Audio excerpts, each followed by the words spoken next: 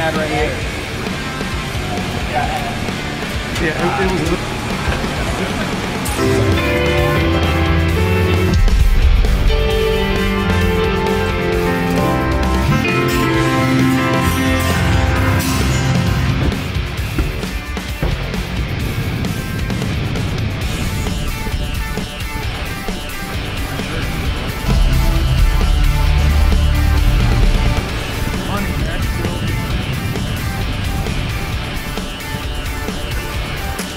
Team Olivolente!